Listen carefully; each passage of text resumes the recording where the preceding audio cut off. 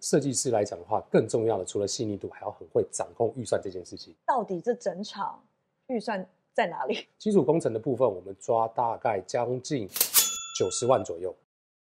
看不到的地方大概占三分之一，看得到的地方这样算起来不到两百万哎，这怎么可能做得到？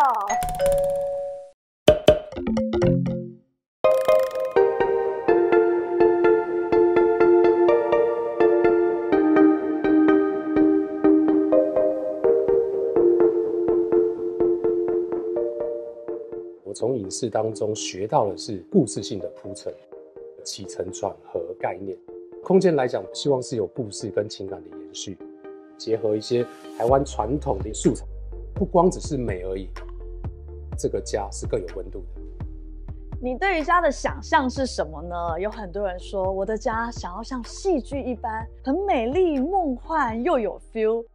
这一位设计师，他是从影视美术跨足到室内设计，一起来看看他怎么把荧幕上的奇思妙想转化成独一无二的居家设计。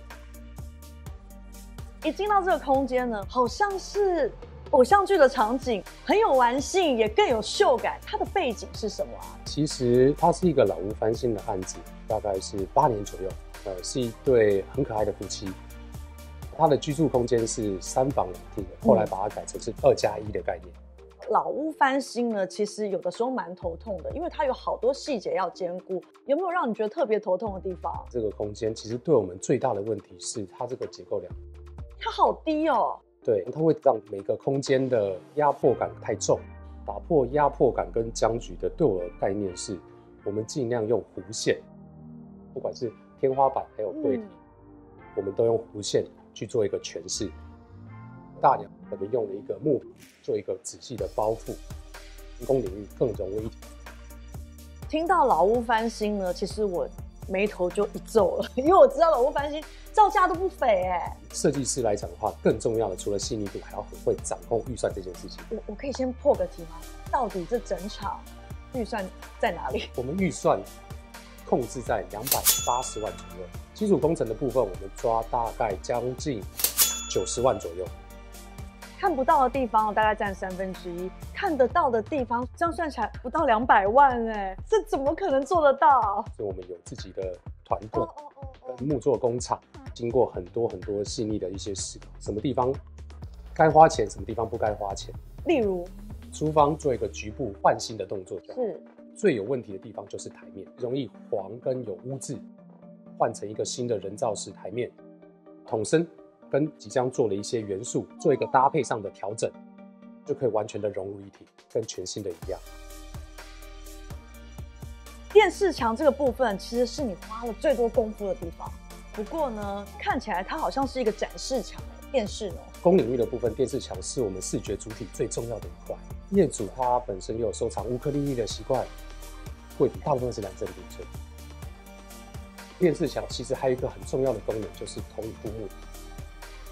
反距投影机的机身藏在电视柜正中间这个区块，投射下来的一个距离跟空间感是精算过的。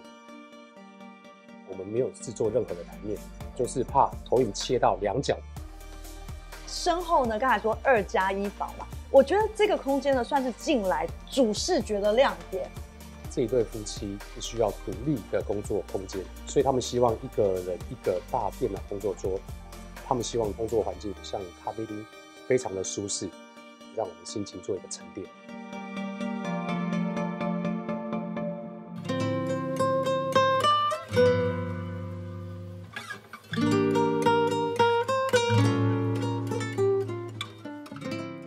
进到私领域了。主卧的部分你怎么帮他们规划？设计美学其实比例是一个很重要的区块。对，主卧室来讲的话，的床其实不只是双人床，它比一般的 king size 来的更大。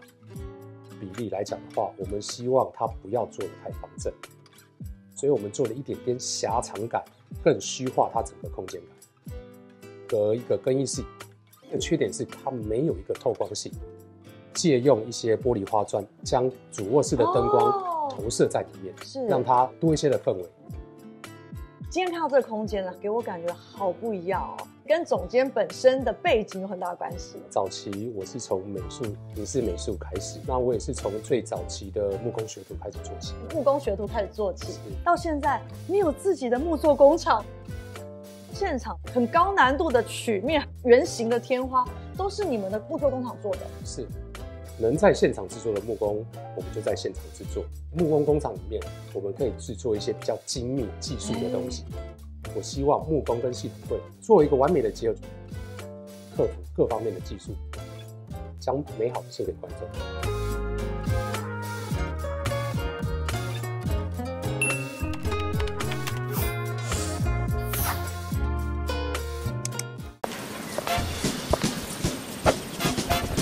红米高品质制造商直购，直接点，多样风格，直接点。